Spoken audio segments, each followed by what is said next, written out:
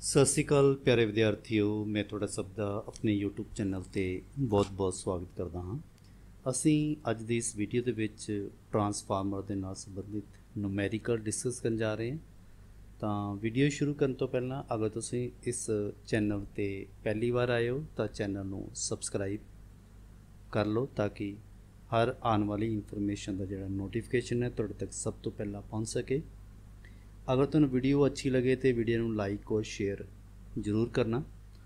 ਤੋ ਤੁਸੀਂ ਸਕਰੀਨ ਤੇ ਦੇਖ ਸਕਦੇ ਹੋ ਨੂਮੈਰੀਕਲ ਨੰਬਰ 1 ਜਿਸ ਦੇ ਵਿੱਚ ਹੈ ਕਿ 1 220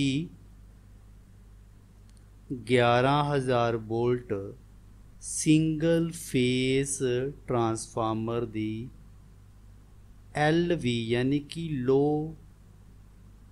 voltage low voltage side ਜਿਹੜੀਆਂ ਟਰਨ ਹੈਗੀਆਂ, ਉਹ ਹੈਗੀਆਂ ਜੀ 100 ਜੇਕਰ ਲਾਸ ਸਿਫਰ ਮੰਨ ਲਿਆ ਜਾਵੇ, ਇੱਥੇ ਆ ਜਾਏਗਾ ਸਿਫਰ। ਅਗਰ ਜਿਹੜਾ ਲਾਸ ਹੈ, ਉਹਨੂੰ ਸਿਫਰ ਮੰਨ ਲਿਆ ਜਾਵੇ, ਤਾਂ HV ਸਾਈਡ ਵਿੱਚ ਜਿਹੜੀ ਟਰਨ ਹੈ, ਉਹ ਪਤਾ ਕਰਨੀ ਹੈ। ਪੇਪਰ ਦੇ ਵਿੱਚ ਇਸ ਤਰ੍ਹਾਂ ਦਾ ਨੂਮੈਰੀਕਲ ਬਹੁਤ ਵਾਰ ਆ ਚੁੱਕਿਆ ਜਿਸ ਦੇ ਵਿੱਚ ਸਿਰਫ ਅਸੀਂ ਟਰਨ ਹੀ ਕੱਢਣੀ ਹੁੰਦੀ ਹੈ। ਹੁਣ ਸਭ ਤੋਂ ਪਹਿਲਾਂ ਜੋ ਜੋ ਤੁਹਾਨੂੰ ਡਾਟਾ ਦਿੱਤਾ, ਤੁਸੀਂ ਇਹਨੂੰ ਨੋਟ ਕਰ ਸਕਦੇ ਹੋ। ਸਭ ਤੋਂ ਪਹਿਲਾਂ ਦੇਖੋ ਜੀ, ਇਹ ਜਿਹੜਾ 220 ਬਟਾ 1100 ਵੋਲਟ। ਹੁਣ ਸਾਨੂੰ ਪਤਾ ਹੈ ਕਿ ਇਹ ਜਿਹੜਾ 220 ਹੈ, ਇਹਨੂੰ ਅਸੀਂ ਕੀ ਕਵਾਂਗੇ? ਇਹਨੂੰ ਅਸੀਂ ਕਹਿੰਦੇ ਆ ਜੀ ਪ੍ਰਾਇਮਰੀ ਵੋਲਟੇਜ ਕੀ ਅਸੀਂ ਕਹਿੰਦੇ ਆ ਇਹਨੂੰ ਅਸੀਂ ਕਹਿੰਦੇ ਆ ਪ੍ਰਾਇਮਰੀ ਵੋਲਟੇਜ ਪ੍ਰਾਇਮਰੀ ਵੋਲਟੇਜ ਕਿੰਨੀ ਹੈ ਜੀ 220 ਵੋਲਟ ਔਰ 1100 ਜਿਹੜੀ ਵੋਲਟ ਹੈ ਉਹ ਸਾਡੇ ਕੋਲ ਕਿਹੜੀ ਵੋਲਟ ਹੈ ਸੈਕੰਡਰੀ ਵੋਲਟੇਜ ਇਹ ਆ ਗਿਆ ਸਾਡੇ ਕੋਲ ਜੀ ਸੈਕੰਡਰੀ ਵੋਲਟੇਜ ਕਿੰਨੀ ਆ ਗਈ 11 1100 ਵੋਲਟ 11000 ਨਹੀਂ 1100 ਵੋਲਟ ਹੋਰ ਸਾਨੂੰ ਕੀ ਦਿੱਤਾ ਹੈ? ਹੋਰ ਸਾਨੂੰ ਦਿੱਤਾ ਹੈ ਕਿ ਲੋ ਵੋਲਟੇਜ LV ਸਾਈਡ ਜਿਹੜੀਆਂ ਟਰਨਸ ਹੈਗੀਆਂ, ਉਹ ਦਿੱਤੀਆਂ ਜੀ 100 100 ਟਰਨਾਂ ਦਿੱਤੀਆਂ ਤੇ ਅਸੀਂ ਹਾਈ ਵੋਲਟੇਜ ਸਾਈਡ ਜਿਹੜੀਆਂ ਟਰਨ ਹੈ ਉਹ ਕੈਲਕੂਲੇਟ ਕਰਨੀ ਹੈ ਇਹ ਸਾਡੇ ਕੋਲ ਸਾਨੂੰ ਯਾਨੀ ਕੁਐਸਚਨ ਦੇ ਵਿੱਚ ਇਹ ਚੀਜ਼ ਪੁੱਛੀ ਗਈ ਹੈ।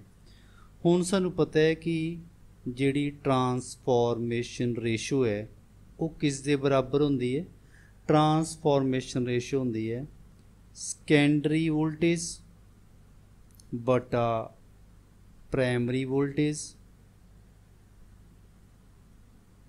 secondary number of turn ਬਟਾ primary number of turn ਇਹ ਟਰਾਂਸਫਾਰਮੇਸ਼ਨ ਰੇਸ਼ੋ ਇਹ k ਦੇ ਬਰਾਬਰ ਹੁੰਦੀ ਹੈ, ਇਹ ਅਸੀਂ ਪਹਿਲਾਂ ਜਿਹੜਾ ਡਿਸਕਸ ਕਰ ਚੁੱਕੇ ਹਾਂ।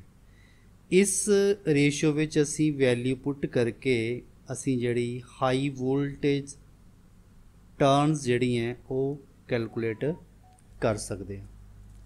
ਹੁਣ ਤੁਸੀਂ ਦੇਖੋ ਕਿ ਜਿਹੜੀ ਸੈਕੰਡਰੀ ਵੋਲਟੇਜ ਹੈ, ਤੁਹਾਨੂੰ ਕਿੰਨੀ ਦਿੱਤੀ ਹੈ? ਸੈਕੰਡਰੀ ਵੋਲਟੇਜ ਆ ਗਈ ਸਾਡੇ ਕੋਲ ਜੀ 1100 ਵੋਲਟ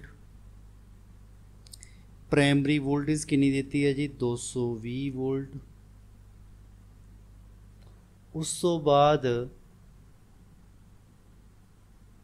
ਸੈਕੰਡਰੀ ਜਿਹੜੀਆਂ ਟਰਨ ਹੈ, ਉਹ ਅਸੀਂ ਕੱਢਣੀ ਹੈ।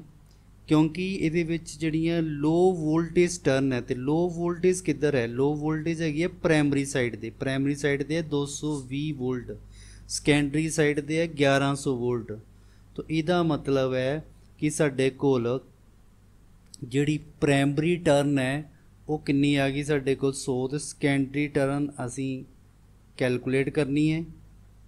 ਤੇ ਪ੍ਰਾਇਮਰੀ ਟਰਨ ਕਿੰਨੀ ਆ ਗਈ ਸਾਡੇ ਕੋਲ ਜੀ? 100 ਹੁਣ ਅਸੀਂ ਇਹਨੂੰ ਕ੍ਰੋਸ ਮਲਟੀਪਲਾਈ ਕਰਕੇ ਇਹਦੀ ਜਿਹੜੀ ਵੈਲਿਊ ਹੈ, ਉਹ ਕੈਲਕੂਲੇਟ ਕਰ ਸਕਦੇ ਹਾਂ। ਕ੍ਰੋਸ ਮਲਟੀਪਲਾਈ ਕਰੋ। ਕ੍ਰੋਸ ਮਲਟੀਪਲਾਈ ਤੁਸੀਂ ਕਰੋਗੇ, ns ਨੂੰ ਇਹਦੇ ਨਾਲ ਮਲਟੀਪਲਾਈ ਕਰ ਦਿਓ n ਨੂੰ ਇਹਦੇ ਨਾਲ ਮਲਟੀਪਲਾਈ ਕਰ ਦਿਓ ਇਹ ਕਿੰਨਾ ਆ ਜਾਏਗਾ ਜੀ? 220 ਗੁਣਾ NS ਬਰਾਬਰ ਆ ਜਾਏਗਾ ਜੀ 1100 ਗੁਣਾ 100 ਇਹਦੇ ਵਿੱਚ ਜਦੋਂ ਅਸੀਂ ਸਕੈਂਡਰੀ ਟਰਨ ਕੱਢਾਂਗੇ 1100 ਇਹ ਆ ਗਿਆ 100 ਇਹ ਆ ਗਿਆ ਔਰ NS ਦਾ ਜਿਹੜਾ ਕੋਫੀਸ਼ੀਐਂਟ 220 ਹੈ ਇਹ ਸਾਡੇ ਕੋਲ ਆ ਜਾਏਗਾ ਜੀ ਨੀਚੇ 220 तो जीरो ਨਾਲ जीरो कैंसिल हो गई ग्यारह दूना यानी कि ग्यारह दूना बाई ਤੇ 11 ਏਕਮ 11 ਇਹ ਫਿਰ ਕੈਂਸਲ ਹੋ ਜਾਏਗਾ 5 ਦੂਣੀ 10 ਯਾਨੀ ਕਿ 50 ਆ ਗਿਆ ਔਰ 10 ਇਹ ਬਚ ਗਿਆ ਸਾਡੇ ਕੋਲ ਆਨਸਰ ਆ ਗਿਆ ਜੀ 50 ਗੁਣਾ 10 ਕਿੰਨਾ ਆ ਗਿਆ? 500 ਟਰਨ ਜਿਹੜੀ ਸਾਡੇ ਕੋਲ high voltage side high voltage side ਜਿਹੜੀ ਹੈ ਨੰਬਰ ਆਫ ਟਰਨਸ ਹੈ, ਉਹ ਕਿੰਨੀ ਆ ਗਈ ਹੈ ਜੀ? 500 ਟਰਨਾ ਇਹ ਇਸ ਦਾ ਰਾਈਟ ਆਨਸਰ ਆ ਗਿਆ। ਹੁਣ ਅਸੀਂ ਇਸ ਦੇ ਨਾਲ ਹੀ ਸੰਬੰਧਿਤ ਇੱਕ ਨੈਕਸਟ ਕੁਐਸਚਨ ਕਰਦੇ ਹਾਂ। ਬਿਲਕੁਲ ਹੀ ਸਿੰਪਲ ਹੈ। ਔਰ ਉਮੀਦ ਹੈ ਕਿ ਤੁਹਾਨੂੰ ਜਲਦੀ ਸਮਝ ਆ ਜਾਏਗਾ। ਸਭ ਤੋਂ ਪਹਿਲਾਂ ਸਟੇਟਮੈਂਟ ਦੇਖੋ ਕਿ ਇੱਕ ਟਰਾਂਸਫਾਰਮਰ ਹੈ, ਜਿਸ ਦੇ ਵਿੱਚ 2000 ਓਬਲੀਕ 200 ਵੋਲਟ ਤੇ 20 kVA ਟਰਾਂਸਫਾਰਮਰ ਹੈ। ਔਰ ਜਿਸ ਦੀ ਜਿਹੜੀ ਸੈਕੰਡਰੀ ਟਰਨਾਂ ਜਿਹੜੀਆਂ ਉਹ 66 ਹੈਗੀਆਂ, ਜੇਕਰ ਲਾਸ ਨੂੰ ਸਿਫਰ ਮੰਨ ਲਿਆ ਜਾਵੇ ਤਾਂ ਤੁਸੀਂ ਹੇਠ ਲਿਖੇ ਪਤਾ ਕਰਨਾ ਇੱਕ ਤਾਂ ਪ੍ਰਾਇਮਰੀ ਟਰਨ ਪਤਾ ਕਰਨੀ ਹੈ।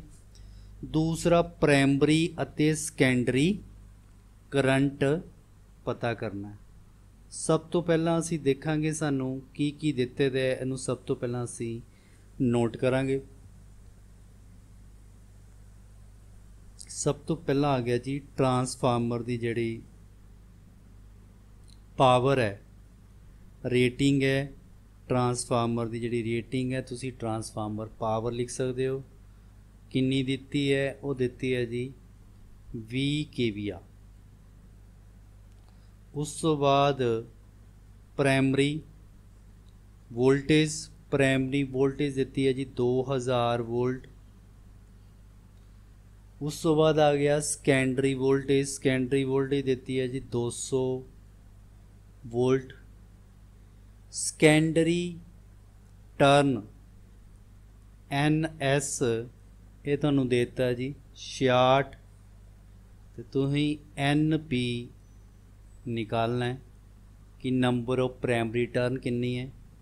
ਉਸ ਤੋਂ ਬਾਅਦ ਤੁਸੀਂ ਕਰਨਾ ਹੈ ਪ੍ਰਾਇਮਰੀ ਕਰੰਟ ਕੈਲਕੂਲੇਟ ਕਰਨਾ ਹੈ ਔਰ ਸਕੈਂਡਰੀ ਕਰੰਟ ਕੈਲਕੂਲੇਟ ਕਰਨਾ ਤੋ ਜਿਹੜਾ ਪਹਿਲਾ ਪਾਰਟ ਹੈ, ਜਿਹਦੇ ਵਿੱਚ ਅਸੀਂ ਪ੍ਰਾਇਮਰੀ ਟਰਨ ਕਰਨੀ ਹੈ, ਉਹ ਸੇਮ ਹੀ ਕੁਐਸਚਨ ਆ ਗਿਆ, ਜਿਸ ਤਰ੍ਹਾਂ ਅਸੀਂ ਪਹਿਲਾਂ ਕੈਲਕੂਲੇਟ ਕੀਤਾ ਸੀ, ਜਿਸ ਦੇ ਵਿੱਚ ਅਸੀਂ ਟਰਾਂਸਫਾਰਮੇਸ਼ਨ ਰੇਸ਼ੋ ਦਾ ਫਾਰਮੂਲਾ ਲਗਾ ਲੈਣਾ ਕਿ ਜਿਹੜੀ ਟਰਾਂਸਫਾਰਮੇਸ਼ਨ ਰੇਸ਼ੋ ਹੈ, ਜਿਹੜੀ ਸਾਡੇ ਕੋਲ ਟਰਾਂਸਫਾਰਮਰ ਦੀ ਜਿਹੜੀ ਰੇਸ਼ੋ ਹੁੰਦੀ ਹੈ, ਉਹਨੂੰ ਅਸੀਂ ਕਿਸ ਦੇ ਬਰਾਬਰ ਕਰਦੇ ਹਾਂ? ਸੈਕੰਡਰੀ ਵੋਲਟੇਜ ਬਟਾ ਪ੍ਰਾਇਮਰੀ ਵੋਲਟੇਜ ਔਰ ਇਸ ਦੇ ਨਾਲ ਹੀ ਆ ਜਾਏਗਾ ਸੈਕੰਡਰੀ ਨੰਬਰ ਆਫ ਟਰਨ ਤੇ ਪ੍ਰਾਇਮਰੀ ਨੰਬਰ ਆਫ ਟਰਨ ਇਹਦੀ ਵੈਲਿਊ ਪੁੱਟ ਕਰ ਲਓ। ਸੈਕੰਡਰੀ ਵੋਲਟੇਜ ਸਾਡੇ ਕੋਲ ਕਿੰਨੀ ਹੈ ਜੀ? 200 ਪ੍ਰਾਇਮਰੀ ਵੋਲਟੇਜ ਕਿੰਨੀ ਆ ਗਈ ਜੀ? 2000 ਸੈਕੰਡਰੀ ਨੰਬਰ ਆਫ ਟਰਨ ਕਿੰਨੀ ਆ ਗਈ? 66 ਤੇ ਪ੍ਰਾਇਮਰੀ ਟਰਨ ਜਿਹੜੀ ਅਸੀਂ ਕੈਲਕੂਲੇਟ ਕਰਨੀ ਹੈ। ਇਸ ਦੇ ਵਿੱਚ ਅਗਰ ਤੁਸੀਂ ਇਹ ਕਟਿੰਗ ਕਰਨੀ ਹੈ ਤੇ ਕਟਿੰਗ ਵੀ ਕਰ ਸਕਦੇ ਹੋ। ਸਿੱਧੇ ਇਹ ਤੁਹਾਡੇ ਕੋਲ 2 ਜ਼ੀਰੋ ਦੇ ਨਾਲ 2 ਜ਼ੀਰੋਆਂ ਕੈਨਸਲ ਕਰ ਸਕਦੇ ਹੋ। ਇਹ ਆ ਜਾਏਗਾ ਤੁਹਾਡੇ ਕੋਲ 2 ਏਕਮ 2 10 ਦੋ ਨਹੀਂ 20 ਯਾਨੀ ਕਿ 1 ਬਟਾ 10 ਬਰਾਬਰ ਆ ਗਿਆ ਤੇ ਤੁਹਾਡੇ ਕੋਲ 66 ਤੇ NP ਇਹਨੂੰ ਕ੍ਰੋਸ ਮਲਟੀਪਲਾਈ ਕਰੋ ਤੇ NP ਤੁਹਾਡੇ ਕਿਹਦੇ ਬਰਾਬਰ ਆ ਗਿਆ? 66 ਗੁਣਾ 10 ਤੇ ਇਹ ਕਿੰਨਾ ਆ ਗਿਆ ਸਾਡੇ ਕੋਲ? 660 ਟਰਨ ਆ ਗਿਆ। ਯਾਨੀ ਕਿ ਜਿਹੜਾ ਸਾਡਾ ਪਹਿਲਾ ਆਨਸਰ ਹੈ, ਇਹ ਆ ਗਿਆ 660 ਟਰਨਾ ਪ੍ਰਾਇਮਰੀ ਦੇ ਵਿੱਚ। ਹੁਣ ਅਸੀਂ ਕੈਲਕੂਲੇਟ ਕਰਨਾ ਹੈ primary current primary current calculate ਤੁਸੀਂ ਬੜੀ ਆਸਾਨੀ ਦੇ ਨਾਲ ਕਰ ਸਕਦੇ ਹੋ। ਜਿਹੜਾ ਪ੍ਰਾਇਮਰੀ ਕਰੰਟ ਹੁੰਦਾ ਹੈ ਪ੍ਰਾਇਮਰੀ ਕਰੰਟ ਇਹਨੂੰ IP ਦੇ ਨਾਲ ਡਿਨੋਟ ਕਰ ਦਿੰਦੇ ਆ I ਹੋ ਗਿਆ ਕਰੰਟ P ਦਾ ਹੋ ਗਿਆ ਪ੍ਰਾਇਮਰੀ ਇਹ ਆ ਜਾਂਦਾ ਸਾਡੇ ਕੋਲ KVA ਨੀਚੇ ਆ ਜਾਂਦਾ ਹੈ ਪ੍ਰਾਇਮਰੀ ਵੋਲਟੇਜ तो KVA ਸਾਨੂੰ ਵੈਲਿਊ ਦਿੱਤੀ ਦੀ ਹੈ।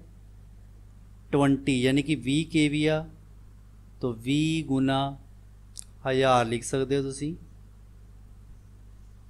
ਠੀਕ ਹੈ ਯਾਨੀ ਕਿ ਅਗਰ ਤੁਸੀਂ ਲਿਖਣਾ ਹੈ ਇੱਥੇ ਇੱਥੇ ਲਿਖ ਲਓ 20 KVA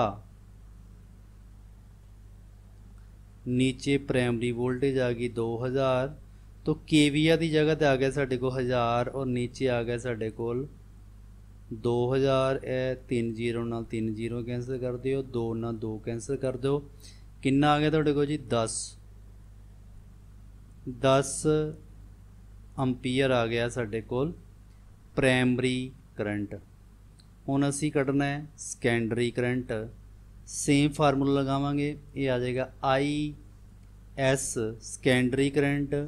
Same formula KVA ਨੀਚੇ ਆ ਜਾਏਗਾ ਸਾਡੇ ਕੋਲ ਸੈਕੰਡਰੀ ਵੋਲਟੇਜ। ਕੀ ਆ ਜਾਏਗਾ? Secondary voltage. KVA ਦੀ ਰੇਟਿੰਗ ਸਾਨੂੰ ਦਿੱਤੀ ਹੈ 20 KVA ਯਾਨੀ ਕਿ 20 ਗੁਣਾ 1000 ਹਜ਼ਾਰ ਬਟਾ, ਜਿਹੜੀ ਸੈਕੰਡਰੀ ਵੋਲਟੇਜ ਆ, ਉਹ ਸਾਨੂੰ 200 ਦਿੱਤੀ ਦੀ ਹੈ। ਤੋ ਕਟਿੰਗ ਕਰ ਲਓ 0 ਨਾਲ 0 ਕੈਂਸਲ ਹੋ ਗਿਆ, ਇਹ 0 ਦੇ ਨਾਲ 0 ਕੈਂਸਲ ਹੋ ਗਿਆ। ਤੋ ਇਹਦੇ ਨਾਲ ਕਰ ਲਓ 5 ਦੋ ਨਹੀਂ 10 5 ਤੇ 20 ਇਹਨੂੰ ਅਸੀਂ ਗੁਣਾ ਕਰਾਂਗੇ 20 ਗੁਣਾ 5 ਇਹ ਤੁਹਾਡੇ ਕੋਲ ਕਿੰਨਾ ਆ ਗਿਆ ਜੀ? 100 ਐਂਪੀਅਰ ਇਹ ਇਸ ਦਾ ਜੋ ਹੈ ਰਾਈਟ ਆਨਸਰ ਆ ਗਿਆ। ਸੈਕੰਡਰੀ ਕਰੰਟ ਤੁਹਾਡੇ ਕੋਲ ਆ ਗਿਆ ਜੀ 100 ਐਂਪੀਅਰ ਔਰ ਜਿਹੜਾ ਪ੍ਰਾਇਮਰੀ ਕਰੰਟ ਹੈ, ਉਹ ਆ ਗਿਆ ਸਾਡੇ ਕੋਲ ਜੀ 10 ਐਂਪੀਅਰ। ਔਰ ਜਿਹੜੀ ਨੰਬਰ ਆਫ ਟਰਨ ਹੈ ਨੰਬਰ ਆਫ ਟਰਨ ਜਿਹੜੀ ਅਸੀਂ ਕੈਲਕੂਲੇਟ ਕੀਤੀ ਹੈ, ਉਹ ਆ ਗਈ ਸਾਡੇ ਕੋਲ 660 ਤੋਂ ਨੈਕਸਟ ਪਾਰਟ ਅਸੀਂ ਅਗਲੀ ਵੀਡੀਓ ਵਿੱਚ ਡਿਸਕਸ ਕਰਾਂਗੇ। ਅਗਰ ਤੁਹਾਨੂੰ ਵੀਡੀਓ ਅੱਛੀ ਲੱਗੀ ਤੇ ਵੀਡੀਓ ਨੂੰ ਲਾਈਕ ਔਰ ਸ਼ੇਅਰ ਜ਼ਰੂਰ ਕਰਨਾ। ਧੰਨਵਾਦ।